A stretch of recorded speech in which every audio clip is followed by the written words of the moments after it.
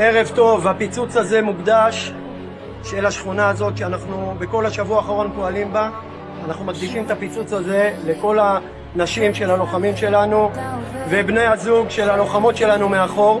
בשכונה הזאת מצאנו השבוע משגרים של רקטות, טילי קרקע אוויר, עשרות רימונים, שרידים של חטופים, מצאנו פה גם טרקטור מניר עוז, דרכונים וקלנועית מבארי.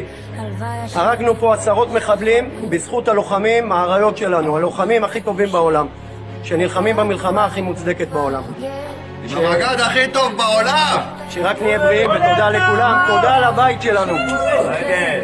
אח שלנו המג"ד!